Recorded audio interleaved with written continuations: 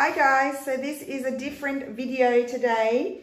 Um, Stef is making pizza dough and we're actually going to freeze it because we're not eating it today.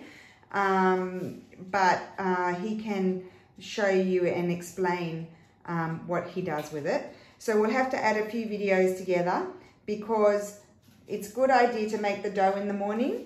Is that correct, Steffi? Yes. And then you let it rise and then something else happens and then and then you let it rise until the evening until you're ready to cook it. So we'll, we'll video the various stages. So what you need is um, a kilo and you'll have to translate that to pounds if you're in the States.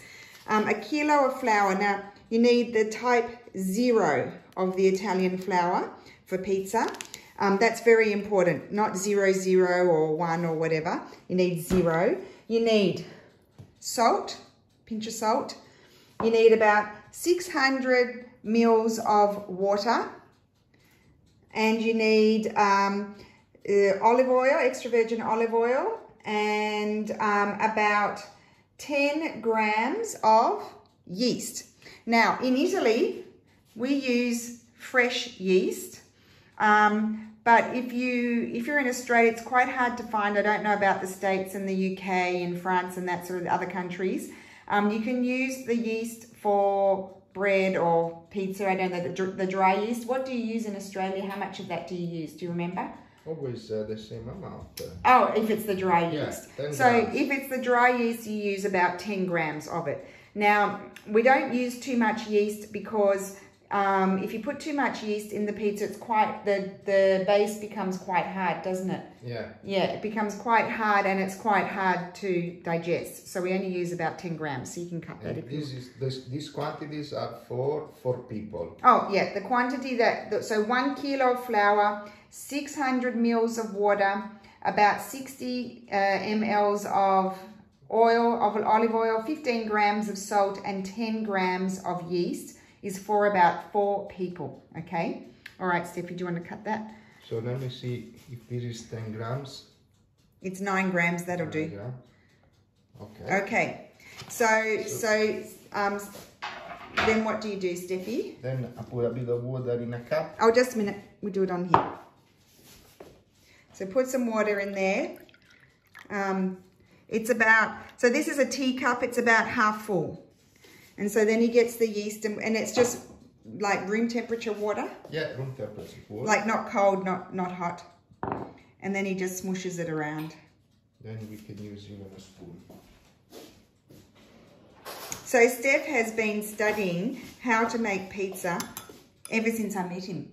Isn't that right, Steffi? Yeah. I used to work in a bar um, near our house and the, the lady there used to do lunch for the officers around us and she used to make pizza and so she gave Steffi her recipe and um, he's been trying to figure out the best um, dough for a long time. I think one of the biggest helps was not too long ago when we met that pizza man at a dinner. Do you remember? And Yeah, he, yeah, he told you to use less yeast. Yeah. He was the one that said less ye- yeast is better. And also, um, it's very important to make your dough, you know, at least, what, minimum five hours before, Yeah. right? Minimum. Yeah. Like if you make it the night before for the next day, it's even better. You Because the, le the less um, time it has to, um, to rise and to do its job, um, then the, the harder the pizza is to digest as well. Isn't it? Yeah, we, yeah. Because your cousin made it and we weren't very well in the night. No. And we ate, she'd only um, risen it for like two hours, not even before she cooked it. So um, it's very important to do it before. Okay, so that you can see here, this is the, the yeast and, and water. Now, oh, just a disclaimer, of course, this is not a cooking channel. Um, this is a crafty channel, but um, several of you asked for Steffi's pizza recipe. So now we put the kilo of flour.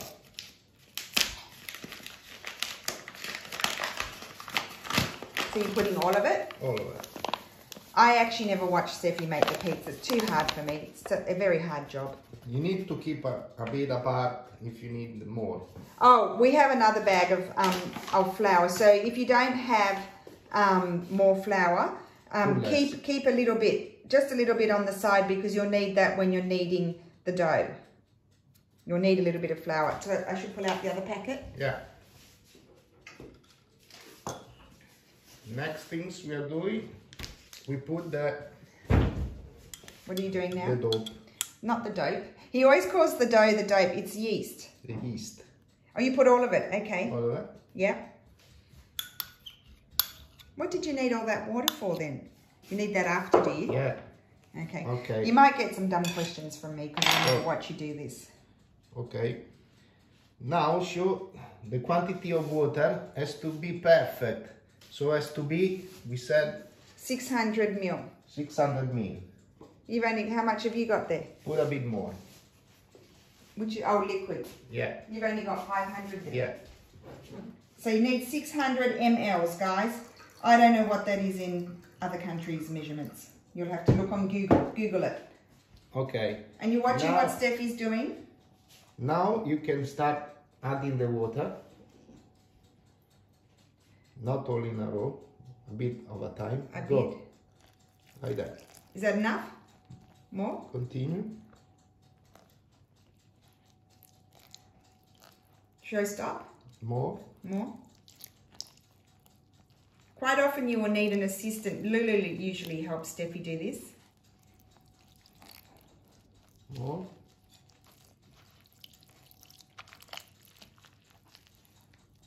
You tell me when- when. Go.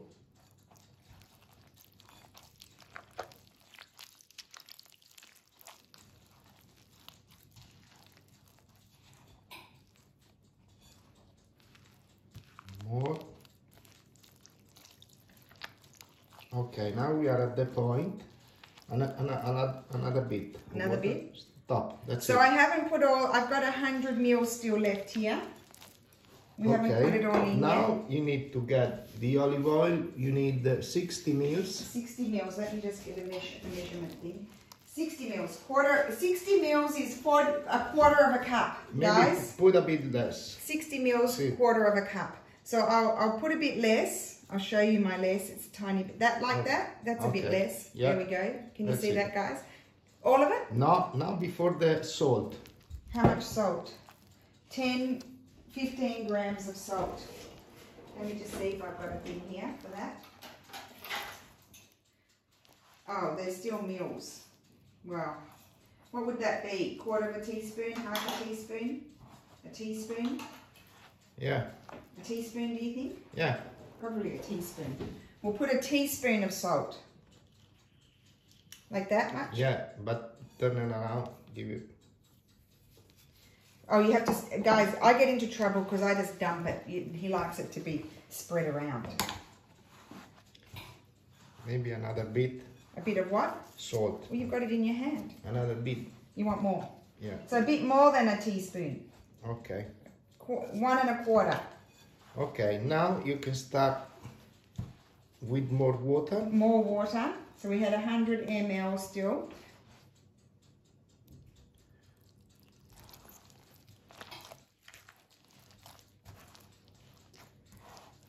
To have the best consistency, consistency, Yeah.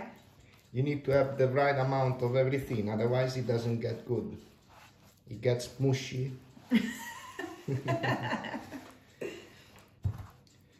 now continue. More water. More water. That's it. So I have to tell Tom because he wanted this recipe. Oh, you lost a bit.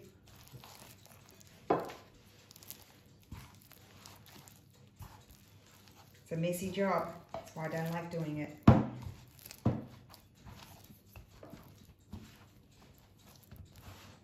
It's What's next? Perfect. Olive oil. Oh, you don't need any more water? So guys, um, 50 ml. Because I put a bit of water. water with the yeast, so that's why this is enough. Oh, so 600 m- mil is. Oh, I see. Some of the water went in the yeast. Okay, so yeah, about 600 ml is about right. So I haven't put all. Look, I've only put this much in. It's only half of it. We'll see how we go. Continue. More? Yeah. smells good. I, I'm smelling the olive oil. You're moving off screen. Hop on screen. I want to do a Rachel.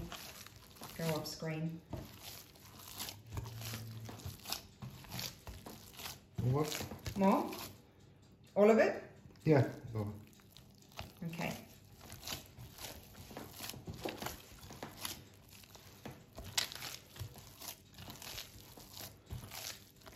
Do you want me to get that off your fingers? Yeah. This is what you need an assistant for.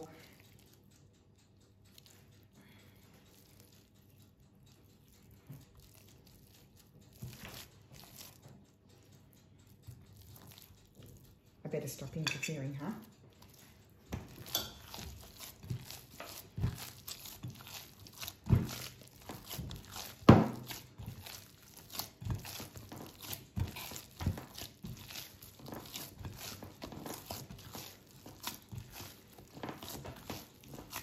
You can kind of get an idea of the consistency there.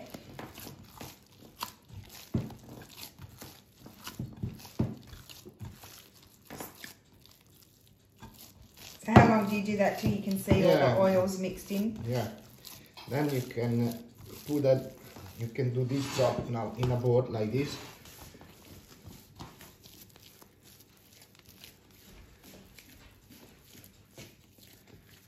Yep. Oh, that's nice. And then what happens? Then when you've done this, you can leave it for 10 minutes underneath the glass like that. Okay, leave so it we'll, rest for 10 minutes. we'll leave. We'll be back in ten minutes then. So we're back, and ten minutes have gone by, and uh, Stef has opened another packet of flour. But as you can see, I don't know if you can see the shine here. It's a bit um, wet, so you need a bit of flour. You just sprinkle a little bit over because you don't want it all to stick to your hands. And what are you doing here, Steffi? I take it out from there. So if you have a wood surface or a marble surface, that's the best to make it on, right, Steffi? Yeah. Even marble's good. yeah. And he's got this, can I show that? He's got this little um, thin thing that's made especially for this sort of work, is to, you scrape it off the board. And see how it looks good.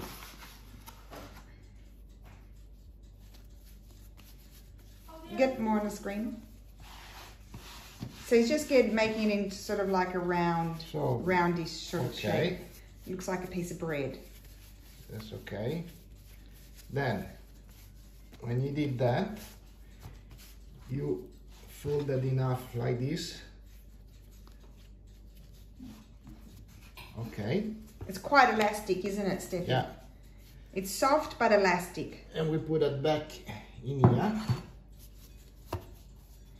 Put it in the bowl. back in the bowl. And then we close. This is very important. You need to close the bowl with cling wrap. There needs to be no air um, getting into the bowl because otherwise the dough will get a crust. Crust. It'll form a crust on top. You might need, do you need to put two? Yeah. Let's just see. Lulu knows she usually helps her dad. There we go, that's closed. So it's closed, it's like a drum. And then what happens, Steffi? Then you leave it for about six, seven hours. Six- even, even four hours, whatever. When it start to grow, you have to put it in a dark place with a mat on top. So put Like a tea towel. a tea towel you mean, not a mat. A wet one. No, no. No. Oh, I thought you put it Oh, down. he used to do that. Now he does it with cling wrap. Oh, so you get a tea towel, a clean tea towel, and you cover it. And we normally just put it sort of near the heater, but you don't want to have it on heat. You just want to put it somewhere warm. So if you've got a warm terrace, Steffi sometimes Not put in, the, not in light, in dark. in the dark. So sometimes Steffi puts it under the doona in the bed, in the bedroom, in the bed. Yes, Lily's looking at me. He used to do that. We used to have dough in the bed. Um, but you don't want to do that because it can overflow. Does overflow sometimes. Okay, so we'll be back in about six or seven hours Even four hours. When it grows up. when it grows. We'll be back when it grows and we'll tell you how long it was. Okay, so we'll see you soon. Okay, so we're back. It's been about four hours and this is our dough. So before it was down here and it's raised up to here. So this, what's next, Steffi? Next, we have to do, we have to turn it around, move it. Now you see the movement I'm gonna do, and then we're gonna leave it for other four hours, and then it's gonna be ready. Okay, so you're kind of breaking it up, moving it, and then letting it Yeah. re-rise. So you get a little bit of flour, he's getting a little bit of flour and just sprinkling it over the top. And you see, look, there's a lot of air in there. So you separate it from the, and see how it's, it, he's knocked the air out of it. So he's removed it from the edges, and what are you going to just flip it about? Yeah. Are you going to put it on the bench? Yeah, now what I do, you know, I try to put all the bubbles out.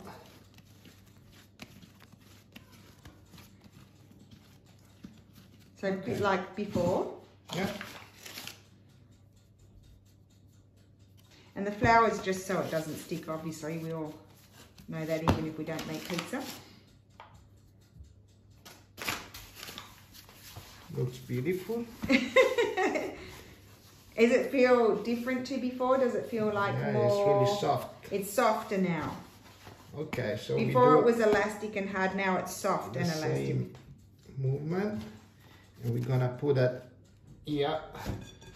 Now you can even leave it for two hours, whatever, just to grow up again. Okay? When it grows up, it's done. It's More done. you leave it doing, better it is. Okay, go. You got to pull it on your side. Oops. Oh, you got too much over there. There we go. So we've sealed that up again and it's going to go back under the, um, what do you call it, the tea towel? Yeah. and in, In a a dark, dark- in, in a dark spot again for another two or three hours or four hours. Depends. Okay so we'll be back again soon. Bye. so we're back. About another two hours have gone by and as you can see the dough not the dope the dough has risen back to the surface of level to the top of the bowl so now Stef is going to show you the next step So What- we did a kilo of flour. So with a kilo, you do four pizza, okay? So at this point, what I will do, I will divide this in four, and then, okay. So we try to do all even parts. So you're cutting it in half.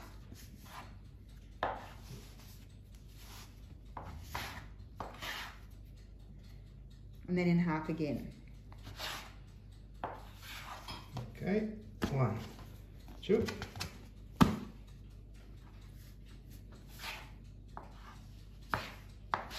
Okay. Now what I will do, I have to do little balls like this. Okay. You have to do this movement. Yeah. One, Okay.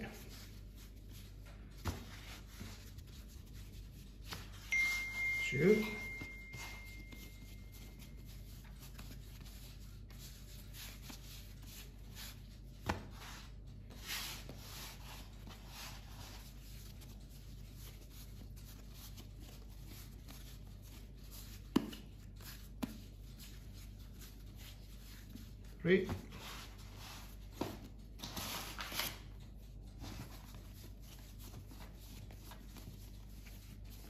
Okay.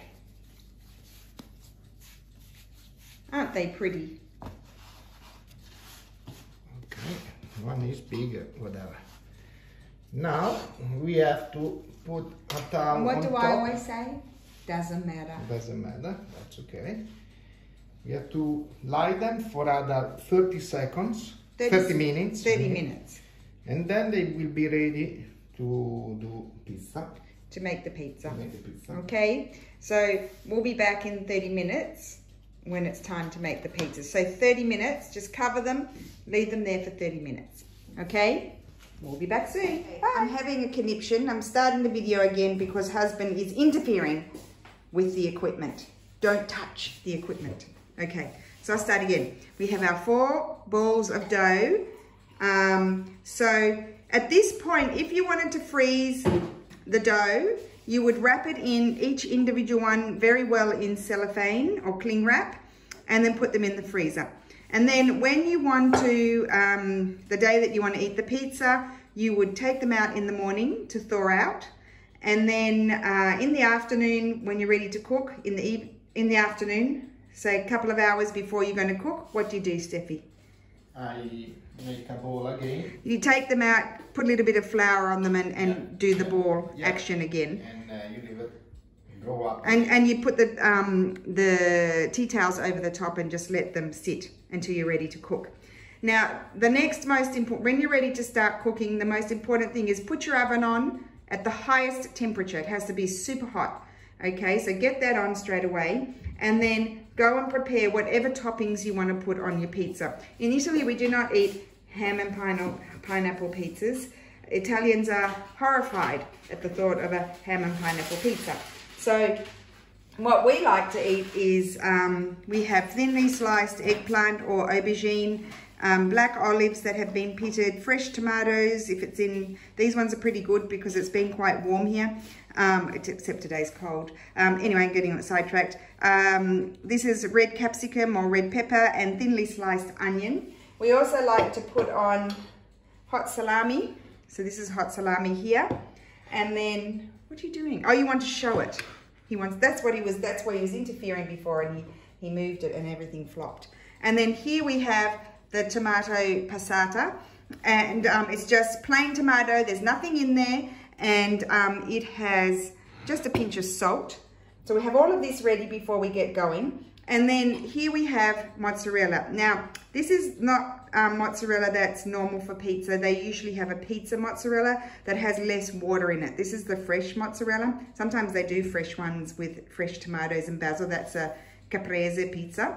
Um, but it has a bit more water in it, so you just put a bit less on top of the pizza. And this is what these um, mozzarellas look like. They're in the water, okay? So just to give you an idea, you want to put that in the fridge, please, Steffi? So you, you prepare all your toppings. You could also have sausage, and you pull the sausage out of its sack and have it there ready to go and put little bits of sausage on. You can have ham. You can have, um, you know, artichokes. Uh, what other sorts of things go on top of pizza here, Steffi? You could do a margherita. You could have basil. It's not basil season, so we don't have any basil, anchovies, um, capers, all that sort of stuff. So you've got to think about, um, oh, sometimes we put um, thinly sliced zucchini as well, but we didn't have any of those. So Stef's going to show you how he um, um, sort of rolls out the pizza. He usually does it quite a lot by hand um, because it, when he rolls it out with the rolling pin, it, go, it goes too thin and then it makes, when, when it cooks, it's very hard. So just watch the action here. We, what, are we, what are we doing, Steffi? We're need, sort of Yeah. pulling it out You have to pull it out without squashing too much. Because you don't want to push the air out of it too much. So what, oh, you, did you prepare this already? Yeah. So then you need, um, you'll also need your baking paper, carta da forno, and you, you pull out your baking paper, cut your piece, about, uh, we're only cooking it in a little oven, so, whoop. Sorry guys, we're not professionals as you know. Um, so basically you do your um, baking paper the size of your baking tray, more or less. Okay. And it will, you're going to do a little bit of rolling pin? Yeah, if you have a bit, the pin, you know, is helping you to, to, But don't push too hard. You don't Yeah. want it to go thin um, because then it might be too too crunchy. Okay. And so then Stef puts it on here.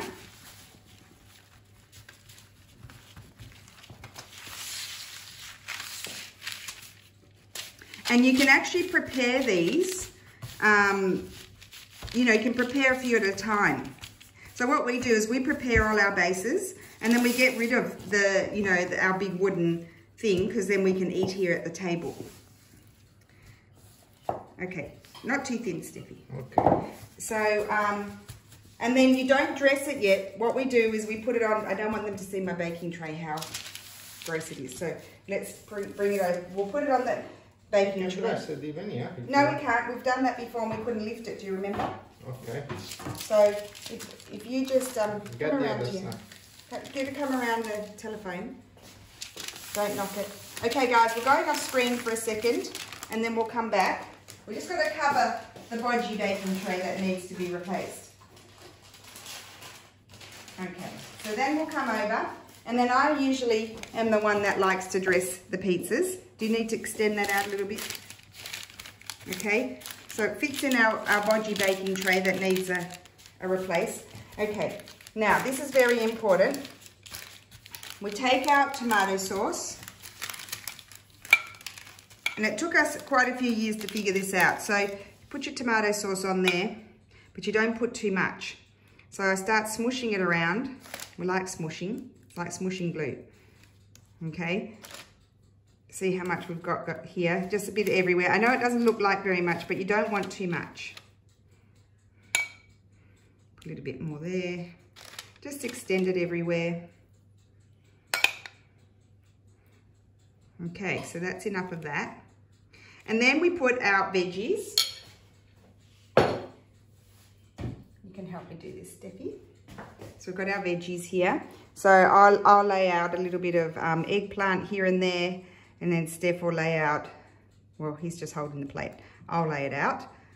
Okay, so a bit of eggplant. We need some capsicum.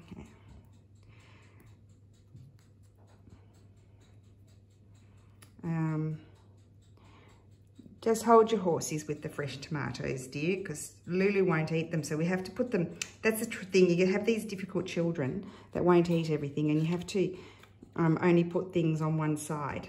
Okay, I'll start putting the onion. I mean, of course, you don't have to do this topping. This is the topping that we like. And sometimes when we've got more variety of things, we um, will put other things, do other types as well. But this is all our favorite, isn't it, Stef? Okay, so we go like this.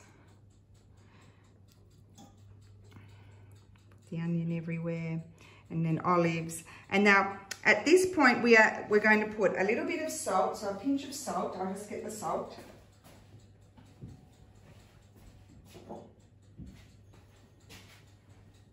So I sprinkle a pinch of, pinch of salt everywhere. Just a pinch. Don't want it to be insipid. Brings out the flavour just a little bit. Okay, and then I get a little bit of olive oil. There's none left in my one that has the thing. I have to be very careful here. So I put my, my thumb over there because it's, it's you do it, Steffi, I'm gonna make a mess. So you put your thumb over, otherwise too much olive oil comes out and just dribble a little bit of olive oil over. And then no cheese and no hot salami is going on at this point. Okay, what we discovered, if you put the cheese on too early, it actually um, burns and the pizza doesn't cook properly. So what we do is we put it in the oven. For how long do you think do we put it in the oven, Steffi? 15 minutes. About 15 minutes in the oven, especially the first one. You might find the next pizzas Yeah, maybe. maybe come out a bit sooner because they start to cook faster. So we're going to put this in the oven and then we will come back. So step, we're back. It's been about 15 minutes. Um, we've rolled out the rest of the other three doughs and this is what the pizza is looking like, okay? It's been cooking for about 15 minutes. So now uh, we put first some hot salami here and there because you don't want this to overcook either. So just put a bit here and there so when you cut it that every piece gets a little bit of hot salami. But we want it to last for all the pizzas as well. We don't want to run out, okay? And then we get the cheese and I'll just come over here and just sprinkle it here and there. You don't need to cover it. I'm a bit um, funny about the cheese. I like the cheese every bit, but Steffi gets angry with me because, um, especially this cheese, um, it makes water, so it makes your pizza soggy. So you don't want that to happen. And it actually, you've got to have faith. It does extend a little bit. But if you like a really cheesy pizza, you'll put a put a bit more, but not this. The the more dry um, mozz, uh, pizza mozzarella is what I want to say. But I like to make sure you get a little bit everywhere. A little bit. So he's, he's, he's he wants to take it away. I haven't finished. I'm finished. One there, one there. It's better in the in the sides. But I like it. What do you mean on the sides? Oh, there. I got too much there. Okay. See, this is, this is what we fight about. Where to put the cheese. Okay. So that's it. That's going to go back in the oven for For other 15 minutes. another about another 15 minutes. But you have to check it out that it's cooked underneath. Okay, we'll, we'll talk about that when we take it out. So it's going back in the oven for another 15 minutes and we've already prepared another one ready to go. So what you do is you prepare one, uh, you have one in the oven and one ready to go um, when that one comes out. And then we've prepared our other doughs, but we don't dress those until we get them onto the tray. Okay, so we'll be back soon. we're back. It's been about, how long do you think, Stef? 15. maybe 15 minutes 10 15 minutes so this is what the pizza looks like But we show the bottom. um, so you can see it's all nice and very light color around the edge it's like a light um, sort of a crude tanny sort of color um, you and you wouldn't want the cheese to cook more than that would you No. so You have to check underneath the pasta. Oh, I can't. any needs of. Oh, well, I'm going to move you guys. You'll probably feel sick. Just a sec. I'll go as slowly as possible. And we'll see if you can see underneath. See underneath? It's just slightly tan. Okay? Now, the reason why we're showing you that is because you don't want to eat raw pizza because it'll upset your tummy. Make you feel sick. Okay, so that, that is the pizza ready. Usually let it sit for five minutes and then we just cut it up. So um, Stef might cut it up straight away. Oh, I better put the other one in. Now, just as a disclaimer before we go and enjoy our pizza, is our next pizza here is ready and it's on the baking tray. So, because we don't have another, um, on the baking rack, I should say. Um, we don't have another baking tray because we haven't found one the right size for our little oven. But um, if you do it on the baking tray, it will pro a baking rack, rack, rack, rack. Um, it will it will um, it will cook a little bit faster, won't it, Stef? Yeah. So um, yeah, so it'll cook a little bit faster. So just be aware of that. So you've got to keep an eye on it. That one's going in the oven, and that is our pizza how to, right, Steffi? Yeah. And so let us know how how you go um, when if you give it a go. We've all got time. We're all at home. We've got plenty of time for making pizza. Now, just also one other thing before we go. Because we froze this dough, we actually froze it because we didn't have any mozzarella to um, cook it. And I know some people do meal prep. And so maybe on a Sunday, because a lot of you um, work, not at the moment because we're all at home, but um, a lot of you work, so you might want to meal prep on Sunday. So if you do freeze it, it's probably not ideal then if you have too many pizzas to then go and freeze them. You have to think about that, right? You can't refreeze things. It's dangerous for bacterias and stuff. So um, yeah, you want to be mindful of that. If you make too many pizzas for however many people there are, then um, and you're frozen the dough, then you can't then freeze the cooked pizza. Well, I don't think so anyway. You might have to look that one up, but I wouldn't do that anyway. So if we, I mean, we're not going to eat four pizzas, um, but we'll put it in the fridge and Lulu will eat it tomorrow. Or maybe we'll all have a slice tomorrow for lunch or an aperitivo or something like that. Oh, and we're going to enjoy our pizza with, is this the empty one? That, yeah. This is the full one. We're going to enjoy our pizza with this, this wine here. We're treating ourselves very well in lockdown. Amarone della Volipe, uh, no, I can't say it. Amarone della Valpolicella. So where's that from? That's Amarone? from Piemonte. Piemonte, okay, near Torino. So that's what we're drinking with our pizza. Some people like to drink beer, we like to drink wine. So let us know how your pizza goes and um, and if it works out for you. Stef's made this pizza recipe even in Australia. Um, at Harris Farms, you can get um, the good Italian uh, flour and uh, apparently they have fresh yeast, but they didn't have it when we were there. We, we weren't 100% sure if they actually understood what we said, but um, you can use the dry yeast, just use 10 grams of the dry yeast. And you can get everything else pretty much around the world, I think. And Stef has made the pizza in Australia and it's very yummy, so it does work in other countries. Yeah? Yeah. Okay, so enjoy your pizza and we will see you soon. Bye. Bye bye. Thank you.